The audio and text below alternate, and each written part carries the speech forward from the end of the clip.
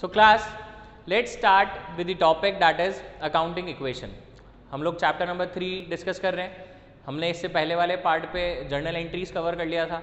N के accordingly जो chapter number three है that is a merger of two chapters to individual chapters as per the D K Goyal that is a journal entries and accounting equation तो journal entries हम लोग देख चुके हैं। अब हम लोग अकाउंटिंग इक्वेशन देखते हैं। तो अकाउंटिंग इक्वेशन के अंदर सबसे पहली जो चीज़ हमें देखनी है क्लास वो है बेसिक अकाउंटिंग इक्वेशन क्या होती है हमारे पास? तो बेसिक अकाउंटिंग इक्वेशन बनती है assets is equals to liabilities asset is equals to liabilities plus capital if you are very much use to with your journal entries अगर आपको जर्नल एंट्री समझ में आ गई है तो आपको अब समझ में आ गया होगा कि किस ट्रांजैक्शन से हम लोगों का कौन सी चीज़ पर अफेक्ट होता है? लाइक असेट्स अफेक्ट हो रही हैं कि एक्सपेंसेस इफ़ेक्ट हो रहे हैं कि लाइबिलिटीज़ पे इफ़ेक्ट पड़ रहा है? और राइट right, तो उन्हीं चीज़ों को ध्यान में रखकर हम लोगों को ये अकाउंटिंग इक्वेशन प्रिपेयर करनी होती है। So class let's deal with these things with with help of the example एक एग्ज़ाम्पल से हम लोग देखते हैं। Suppose the very first transaction we are having with us is that is business started business started with a capital of rupees 5 lakh, business started with a capital of rupees 5 lakh.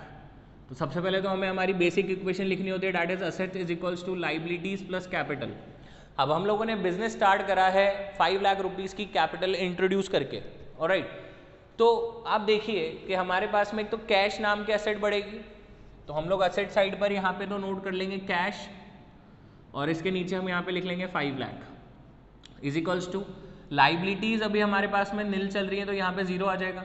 और capital actually capital itself is a liability but then to be ये बोला जाता है कि capital owner's fund है तो इसलिए उसको अलग से मेंशन कर दिया. यहाँ पे लाइबिलिटीज जो आपके पास में आ रहा है, ये आउटसाइडर्स लाइबिलिटी के लिए डिनोट हो रहा है. ओनर्स फंड या किसी प्रॉपराइटर से रिलेटेड के लिए नहीं है. तो इसलिए इन्होंने लाइबिलिटी और कैपिटल को अलग अलग कर रखा है. तो अभी हमने जब बिज़नेस स्टार्ट करा तो कैपिटल बढ़ रहा है हम लोगों के पास में।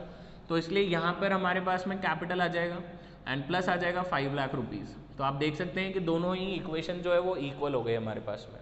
Is it clear now suppose हम बोलते हैं कि machinery purchase machinery purchase for rupees three lakh transaction आता है क्लास हमारे पास में।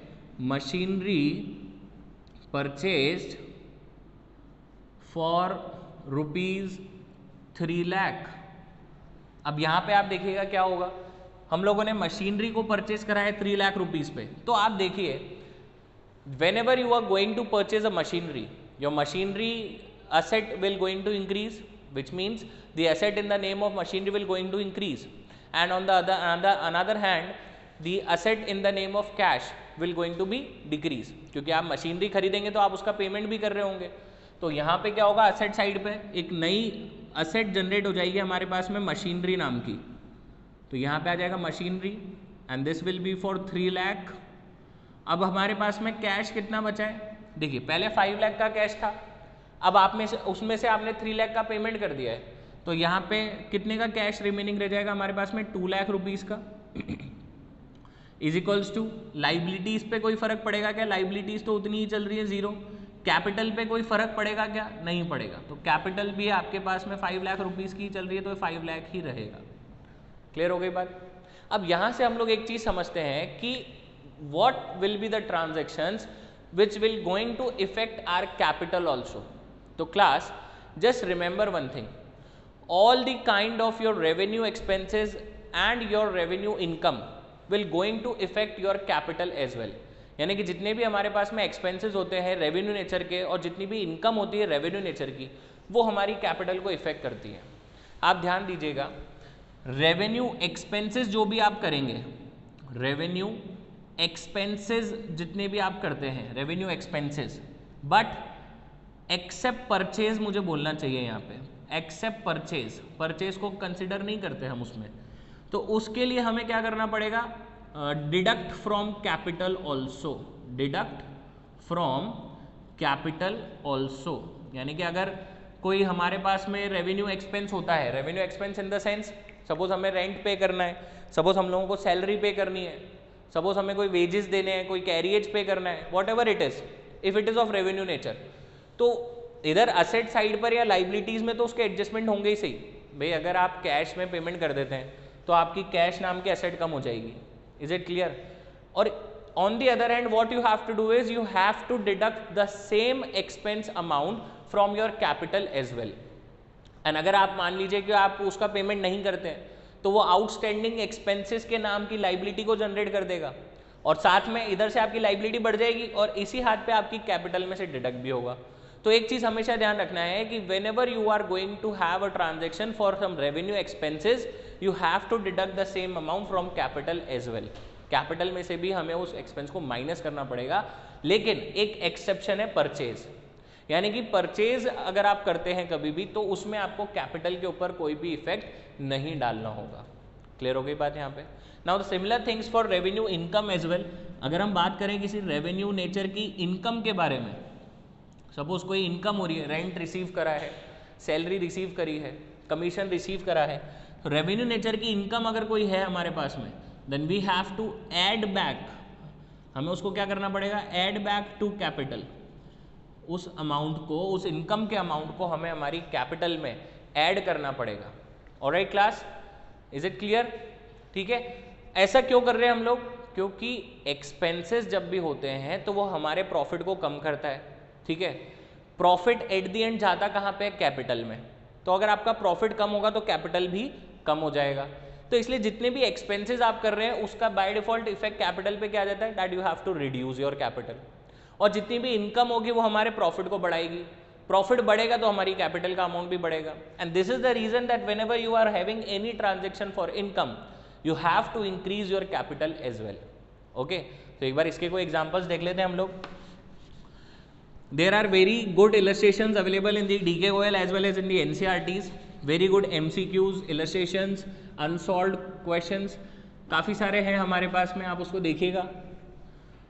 सपोज़ uh, अभी हम लोग स्टार्ट करते हैं मैं बोलता हूँ कि हमारे पास में कैश रखा हुआ है फाइव लाख का ये एक बेसिक इक्वेशन ले लेते हैं हम कैश हमारे पास में रखा हुआ है फाइव लाख का लाइबिलिटीज ज़ीरो है और जो कैपिटल चल रही है हमारे पास में वो भी फाइव लाख रुपीज़ की चल रही है। क्लियर हो गई बात? अब एक एक करके ट्रांजेक्शन देखते हैं। मैं बोलता हूँ goods purchase for rupees two lakh हम लोगों ने दो लाख रुपए के गुड्स परचेज करे। कोई भी चीज़ मेंशन नहीं करी गई है तो इट मीन्स हम लोगों ने उसको कैश में परचेज करा होगा।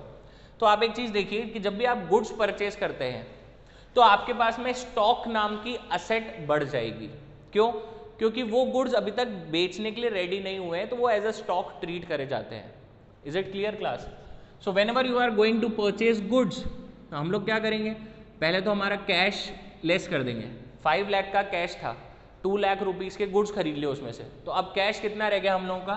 थ्री लाख रुपीज़ का हमारा रह गया कैश प्लस स्टॉक आ जाएगा अब हमारे पास में कितने रुपीज़ का आ जाएगा? टू लाख रुपीज़ का स्टॉक आ गया।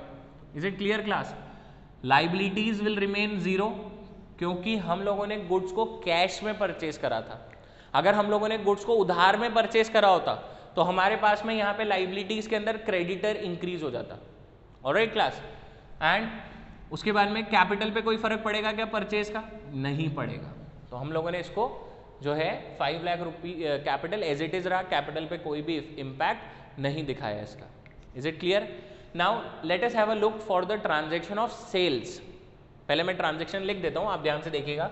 सपोज़ हम बोलते हैं goods goods costing rupees goods costing rupees 50000 costing rupees 50000 was sold for rupees 70000 now this is a very much interesting transaction class that we are we are selling the goods we are selling goods for rupees of, of cost rupees 50000 at a selling price of rupees 70000 यानी कि हम लोग जो goods बेच रहे हैं, जो भी गुड्स आप बेच रहे हो, उसकी कॉस्ट प्राइस आ रही है क्लास हमारे पास में फिफ्टी थाउज़ेंड रुपीज़ की, लेकिन उसकी सेलिंग प्राइस आ रही है हमारे पास में सेवेंटी थाउज़ेंड की। इट मीन्स आप ट्वेंटी थाउज़ेंड का प्रॉफिट अर्न कर रहे हो। भाई पचास हज़ार रुपये वाले गुड्स को आपने सेवेंटी थाउज़ेंड पे सोल्ड आउट करा है। तो then you are earning a profit of rupees twenty thousand now just have a look of this particular transaction कि इसके इम्पैक्ट कहाँ कहाँ पर आते हैं और किस तरह से आते हैं। राइट अभी हम ये कंसिडर करके चल रहे हैं कि ये जो सेल ट्रांजेक्शन हुआ है, वो एक कैश ट्रांजेक्शन है। Because nothing has been mention no name of the person have been mention over here so this will be your cash transaction तो अगर ये कैश ट्रांजेक्शन होगा तो आप देखिएगा, सबसे पहले तो आपका कैश जो है वो बढ़ जाएगा। थ्री लाख रुपीज़ का तो पहले से था। अब बढ़ेगा कितने से? सेवेंटी थाउज़ेंड से। तो आपका कैश का अमाउंट तो आ जाएगा यहाँ पे थ्री लैख सेवेंटी थाउज़ेंड जो आपकी सेलिंग प्राइस थी। भाई because you will going to receive the cash for the amount is equals to which is equal to a selling price otherwise फिर फ़ायदा ही क्या रहेगा भाई, जितने की सेलिंग प्राइस है, उतने का ही तो आप कैश रिसीव करेंगे। तो हम लोगों ने कैश में three lakh plus seventy thousand and the final amount for cash will be rupees three lakh seventy thousand after this हमारे पास में स्टॉक रखा हुआ है, देखिए आप। एक चीज़ का ध्यान रखिएगा स्टॉक वैल्यू हमेशा कॉस्ट पे होता है। जब भी आप गुड्स परचेस करते हैं तो वो हमेशा कॉस्ट पे वैल्यू होता है। Whenever you are going to sell goods you will going to deduct the amount from stock equals to the value of cost only आप उसको कॉस्ट पे वैल्यू कर रहे हैं तो आप उसका अमाउंट जब जब गुड्स को बेच रहे हैं तो कॉस्ट के इक्वल अमाउंट को ही डिडक्ट करेंगे आप। यानी कि अभी हमारे पास में स्टॉक देखिए कितने का चल रहा था। स्टॉक हमारे पास चल रहा था टू लाख रुपीज़ का। ये कॉस्ट है। इस टू लाख की कॉस्ट में से फिफ्टी थाउज़ेंड रुपीज़ की कॉस्टिंग वाले गुड्स आपने सोल्ड करे हैं। कॉस्ट कितनी चल रही थी? फिफ्टी थाउज़ेंड जो गुड्स बेचा, उसकी कॉस्ट है फिफ्टी थाउज़ेंड तो हम यहाँ से क्या करेंगे क्लास माइनस फिफ्टी थाउज़ेंड कर देंगे। So the final amount for stock will be rupees one lakh fifty thousand तो स्टॉक आ जाएगा वन लैख फिफ्टी का। भाई कैश आ गया थ्री सेवेंटी और स्टॉक हो गया हमारा वन लैख फिफ्टी थाउज़ेंड का। अब बात यह आती है कि जो ट्वेंटी थाउज़ेंड का प्रॉफिट था सेल ट्रांजेक्शन में, जो ट्वेंटी थाउज़ेंड का प्रॉफिट हो रहा था, वो उसका हम क्या करेंगे? तो profit and income both are the same things for us और राइट सो क्या करेंगे हम उसको? हम हमारे कैपिटल के अंदर एड बैक कर देंगे। जैसा कि अभी मैंने बताया था आपको rule liabilities will remain same liabilities zero ही चल रही है हमारे पास में। प्लस कैपिटल पहले फाइव लाख रुपीज़ की चल रही थी, अब इसमें हम क्या करेंगे? ट्वेंटी थाउज़ेंड के प्रॉफिट को ऐड कर देंगे क्लास तो ये आ जाएगा हमारे पास में five lakh seventy thousand and your equation will became equal once again is it clear I hope the things are clear to you. Alright class, 3 lakh 70,000 plus uh, this will be your 5 lakh 20,000. This will be 5 lakh 20,000. Okay. So, this was all about the accounting equation. We have, we have covered some uh, important aspects. We have covered some important transactions. एक दो transaction और देख लेते हैं हम लोग, अगर normal revenue nature के कोई एक्सपेंसेस कर रहे होंगे, या अगर हम उसका पेमेंट नहीं करेंगे तो क्या होगा? एक बार वो वाले ट्रांजेक्शन भी देख लेते हैं। ओके तो बेसिक इक्वेशन हम लोग अभी यही रख रहे हैं। Basic equation will remain the same that is you are having your cash of rupees five lakh and you are having the capital for rupees five lakh अब ट्रांजेक्शन देखते हैं हम लोग अलग अलग सपोज़ मैं बोलता हूँ कि रेंट पेड मैं बोलता हूँ rent paid for rupees ten thousand per month यानी कि हमें ट्वेल्व मंथ्स का अगर रेंट पे करना है तो हमें वन लैख ट्वेंटी थाउज़ेंड का पेमेंट करना होगा। तो वॉट विल डू इज़ जो नेक्स्ट इक्वेशन आएगी हमारे पास में, उसमें से क्या करेंगे? कैश है।